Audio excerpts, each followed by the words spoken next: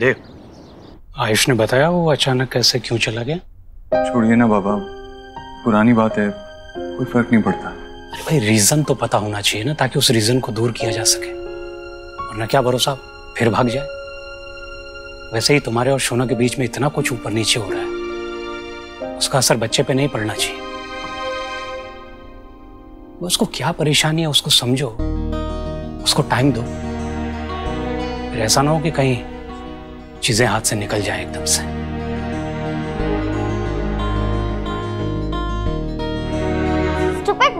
तुम हो। You know घर में सब कितने परेशान थे। पर तुम अपने दादा दादी के घर इतने लेट क्यों पहुँचे? मेरे पास पैसे नहीं थे ना, वरना बस लेके जल्दी चले जाता। इसलिए वॉकिंग करते गया। फिर बहुत टायर्ड हो गया था, इसलिए पार्क में चले गया। तुम्हें अपने दादू का एड्रेस और बस नंबर भी पता है। या बहुत इजी है। But no money so park में ही बैठा था। दिन भर? तुम तो कुछ घर से खा के भी नहीं निकले थे ना? तुम्हें भूख नहीं लगी? लगी। पर मैं मैनेज कर सकता हूँ। प्यास लगी थी पार्क में पब्लिक वाटर होता है ना? वो पी लिया। और फिर एक पाइप में जाके बैठ गया। तुम तो बहुत स्मार्ट हो। पर सॉरी कि मैंने तुम्हारे साथ पहले बहुत बैड बिहेव किया पर आज हम फ्रेंड्स और आज से मैं अच्छे से बिहेव करूँगी। देख बेटा, तेरे हाथ में जो है, तू कर रहा है ना यार? और रही बात सोहा की हालाँकि कुछ सालों तक वो तुझसे दूर रही, लेकिन बचपन से वो जानती है कि तू उसका पिता है?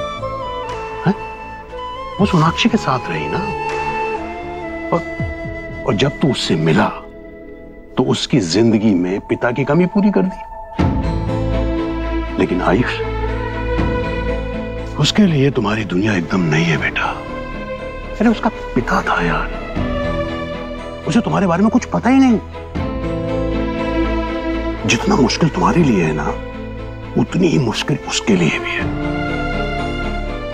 और एक बात याद रखो, ये आयुष सिर्फ़ तुम्हारा ही नहीं है बेटा, उस सोनाक्षी का भी बेटा है। तो कुछ आदतें तुम्हारे जैसी होंगी तो कुछ आदतें उसके जैसी भी होंगी।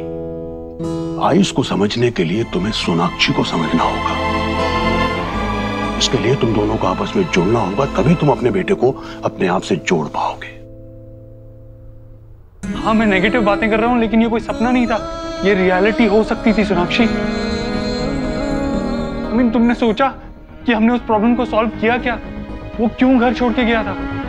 तुम जानती हो वो वो हमारी केयर हमारे प्यार के लिए वापस नहीं आया। वो सिर्फ़ इसलिए वापस आया क्योंकि वो अपनी वजह से अपने बूढ़े दादा दादी को और प्रॉब्लम नहीं देना चाहता था कि उसने खुद कहा है मुझसे।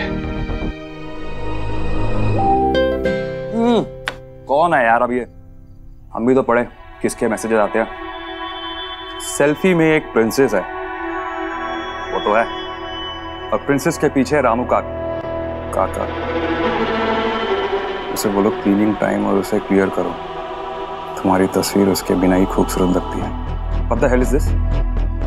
हम्म? ये कैसा मैसेज है लीना? ऐसे मैसेज भेजते तुम्हारे फैंस ब्लॉक करो इसे। अरे ब्लॉक करो यार तुम इसे। विक्की फैंस है कुछ भी बोलते हैं। भाई वरिंग हाँ अच्छा। तेरा रिएक्शन क्या होता अगर हमारी फ़ोटोज़ में कोई तुम पे कमेंट करता कि शांता भाई को इस फ़ोटो के बीच में से निकालो तो? तब देखता मैं कितना कूल रहती तुम और कैसे दूसरों को मुस्कुरा के हैंडल करती। इसे ब्लॉक करो। अरे तुम क्या यार मैं ही ब्लॉक करता हूँ तो। क्या विक्की यार?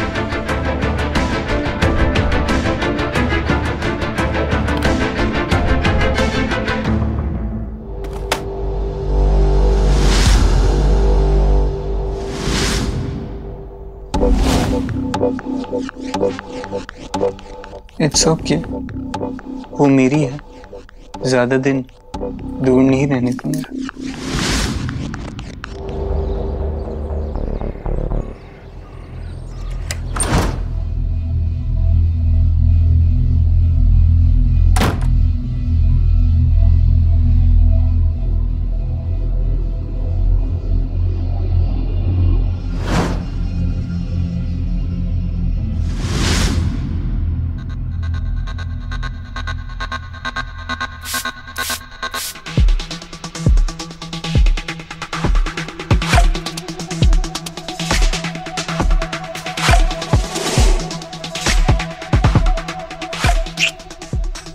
माई जान, माई क्वीन, तुम सिर्फ़ मेरी हो और हमेशा मेरी ही रहोगी। सारी गलती सोनाक्षी की नहीं हो सकती। हमने भी कुछ कुछ गलतियाँ की है ना? छोटी मोटी गलतियाँ जो मिलकर मिलकर वो इतना परेशान हो गया कि घर छोड़ के चला गया। देख अगर अगर वो सच में किसी एक बात से परेशान होता तो मेरे पास आता, मैं उसका बाप हूँ। तेरे पास आता तो उसकी दादी है। लेकिन नहीं, वो हम सबसे परेशान था। याद है तूने उसको खाना खिलाने के लिए उसे ज़बरदस्ती की थी? वो थोड़ा सहम गया था माँ। अब हमें इन छोटी छोटी बातों का थोड़ा ध्यान रखना होगा। तुझे ना अपने प्यार करने के तरीके में थोड़ा सा बदलाव लाना होगा। थोड़ा सा जैसे तू सुहाना के लिए उसकी पसंद का खाना बनाती है ना वो जो करना चाहती है उसे करने देती है ना वैसे ही आयुष को भी थोड़ा इस घर को समझने का इस घर को अपनाने का वक्त दे। तेरी ये गोल मोल बातें मेरी समझ के बाहर है देव पर अगर तुझे लगता है कि ऐसा करने से आयुष खुश होगा तो मैं वही करूँगी जो तू मुझे कहता है। मुझे मेरा नाम नहीं चेंज करना आंटी। ये बहुत स्पेशल है।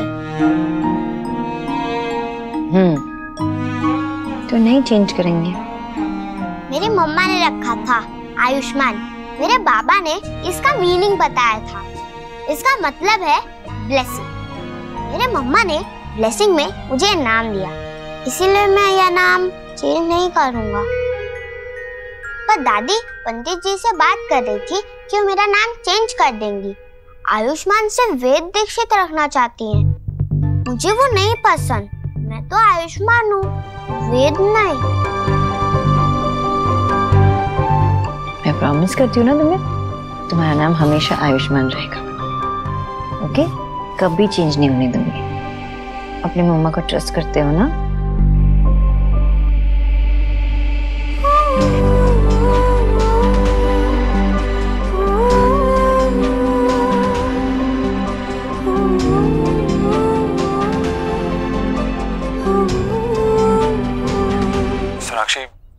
फ़ोन आया था। पूछ रहा था कि आयुष के नेम चेंज के लिए जो डॉक्यूमेंट्स दिए थे वो रेडी हुए या नहीं। देव इतने मुश्किल से आयुष ने हमारे साथ अपनी दिल की बात शेयर की। उसने बताया था हमें कि वो घर छोड़ के क्यों चला गया था? क्योंकि माँ चाह रही थी कि आयुष से उसका नाम वेद दीक्षित रखे। देव प्लीज़ मैं ये नहीं होने देने वाली। प्लीज़ मैं माँ से जाके बात करती हूँ अभी। सोनाक्षी। मैं लॉयर को होल्ड पे रखता हूँ। लेकिन माँ से बात मुझे करने दो। देव माँ अभी अभी मंदिर से आई है मैं जाके बात कर रही हूँ उनसे।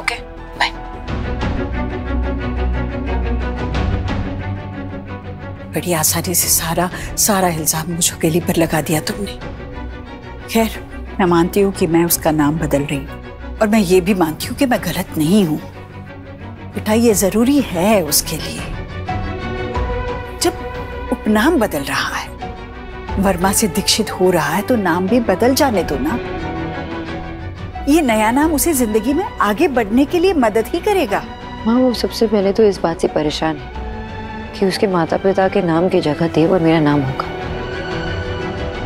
और आपने एक बार भी, एक बार भी देवर मुझसे पूछना सही नहीं समझा। और आपने हमेशा इनकरेज किया मुझे कि मैं उसे अपना बनाकर उसके बारे में सोचूं।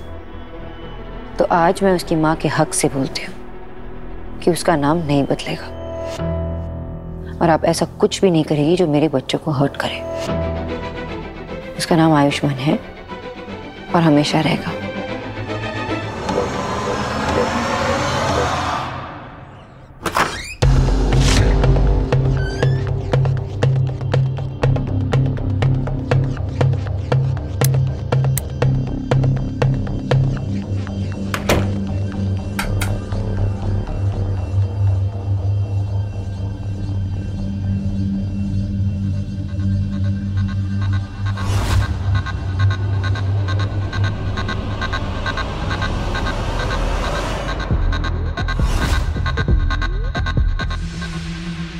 परफ्यूम की बॉटल तो मैं कभी खुली नहीं छोड़ती।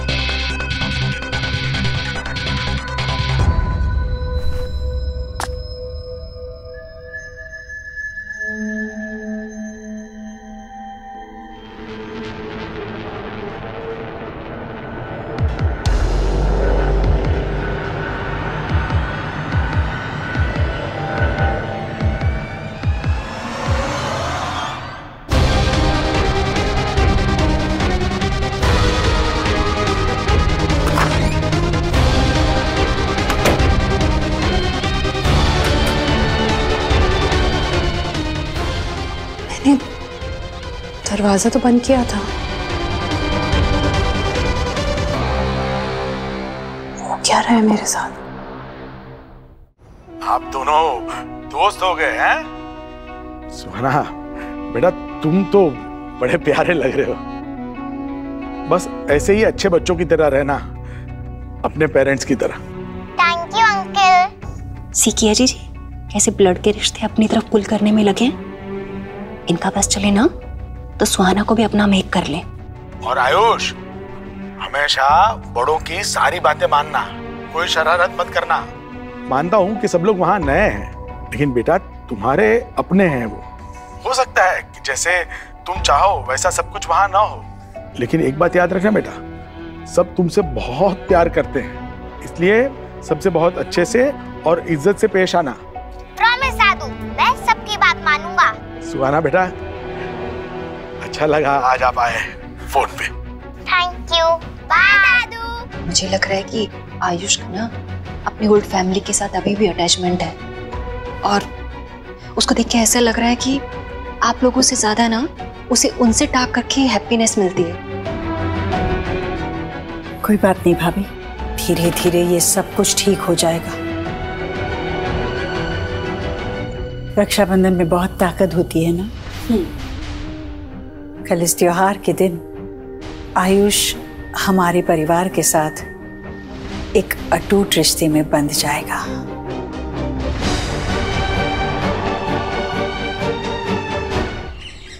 माँ, बात फ़ोन की नहीं है ना? बात ये है कि देव और मैंने एक डिसीज़न ली थी कि हम सुहा को फ़ोन नहीं देंगे। राखी एक त्योहार है माँ। एक बहन दिल से मानती है और फिर राखी बांधती है। फिर प्रार्थना करती है। ऐसे नहीं ना माँ की लालच दे के कुछ किया जाता है। लालच? तुम्हारी पीढ़ी को ये लालच लग सकता है। पर हम लोग तो भाई रिश्ते निभाने के लिए जिस भी हद तक जाना पड़े, जो कुछ भी करना पड़े, करते अरे, ऐसे ही बच्चों को संभाला है हमने। ऐसे ही बातें मनवाई हैं। या तो उनके मन की कर दो, या फिर। आजकल की पीढ़ी से बच्चे संभलते कहाँ हैं? खुद ही इतने डरे हुए होते हैं बच्चों से। हम लोग डरते वरते नहीं है कि बच्चे क्या सोचेंगे उनके मन पे क्या बीती होगी ये वो। ऐसे आप सोचते हो ना। देख आज त्योहार का दिन है ना। आज बस हमें ये ध्यान में रखना है कि हम कैसे खुश रहे और दूसरों को कैसे खुश रखें। लो जी आ गई आज की चीफ गेस्ट। अरे। कुछ रंग प्यार मेरा बच्चा अपने घर में इतनी व्यस्त हो गई बेटा कि मायके का रास्ता ही भूल गई। याद तो बहुत आती है माँ पर वो काम और फैमिली ना एक साथ हैंडल नहीं हो पाता। समझ सकती हूँ। देखना रिया भी सात समंदर पार वीडियो पर ही बातचीत होती है। और नेहा यहाँ इतने नज़दीक होकर भी आती ही नहीं है बिल्कुल। नेहा आ रही है? नहीं वो नहीं आ पाएँगी। वो ना उनके ससुराल में पूरी फैमिली इकट्ठा हुई है। बट उन्होंने राखी भिजवाई है?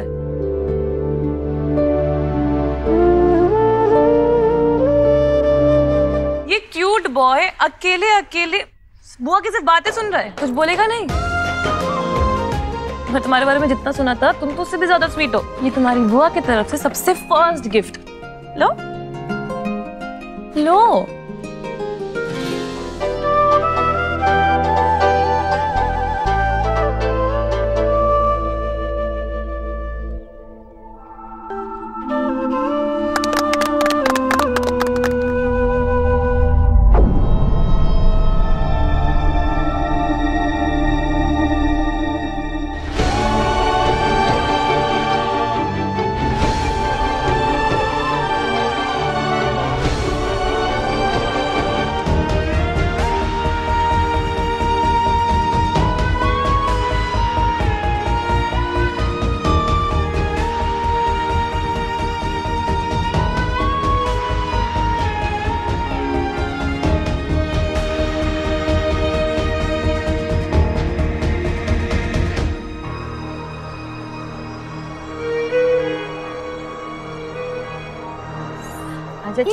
आयुष की भी बारी ना।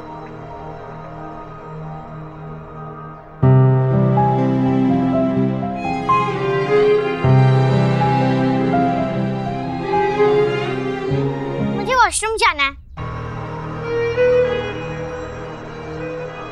सोहा सोहा। मम्मी पापा सबसे ज़्यादा किससे प्यार करते हैं? अपनी प्रिंसेस से ना? देखो आप आयुष को राखी बांधो या ना बांधो। उसे कोई फ़र्क नहीं पड़ता। इन सब चीज़ों से बस रिश्ते थोड़े और स्ट्रांग होते हैं। लेकिन वो आपका भाई है और हमेशा रहेगा। उससे कुछ नहीं बदलने वाला। देखो, अब जब शुभ इस घर में आया था, तब हमने आपकी कोई भी चीज़ उससे दी थी? नहीं दी थी ना? शुभ और आयुष को आपके हिस्से का प्यार नहीं मिलने वाला। उनको उनके हिस्से का प्यार मिलने वाला है। आपसे हमेशा उतना ही प्यार करते रहेंगे। जितना हमेशा से करते आए। बताओ, आयुष को राखी बांधोगे या नहीं बांधोगे?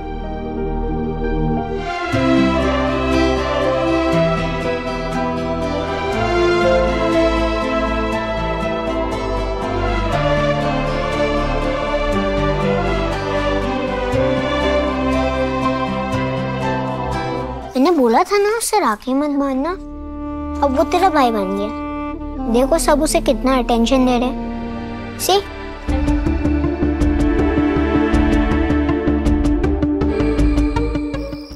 तुमने आयुष को सिक्योर फील कराया अच्छा लगा आई नो वो वो ऐसा लगा कि आज दिन की सबसे बड़ी अचीवमेंट थी। आई गेस वो फील कर रहा है अभी कि वो इस फैमिली से अटैच्ड है। वो कहते हैं ना कि सारे लंबे लंबे रास्ते छोटे छोटे कदमों से तय किए जाते हैं। शायद ये आयुष का पहला कदम था हमारी तरफ़। राखी बांधने का ये मतलब नहीं है कि तुम दीक्षित बन जाओ। ये बस फैमिली फ़ोटो ही है। तुम आयुष्मान वर्मा ही रहोगे। मैं तो हैरान हूँ सच में भाभी इस बात से कि सोहा ने आयुष को राखी बांधी पर उसे इस परिवार का हिस्सा नहीं माना। और सोनाक्षी ने भी सोहा को समझाने की ज़रूरत ही नहीं समझी। बस ये कह दिया कि सोहा ऐसे नहीं कहते। देखिए इसका एक ही तरीका है भाभी। जो पंडित जी ने सुझाया है ना वैसे मुझे करना पड़ेगा। लो ये कपड़े पहनो। चलो चलो चलो। क्यों? हम कहीं जा रहे हैं। नहीं जा नहीं रहे हैं बेटा। तुम्हारे लिए नामकरण की पूजा रखवाई है मैंने। चलो कपड़े बदलो। नहीं मैंने सोना आंटी से कहा था कि मुझे मेरा नाम चेंज नहीं करना। उन्होंने मुझे प्रॉमिस भी किया था। आप अब सोना आंटी को फ़ोन करो ना। बेटा मैं तुम्हारी दादी हूँ ना। घर की बड़ी हूँ ना मैं। मैं जानती हूँ ये तेरे लिए बहुत अच्छा है।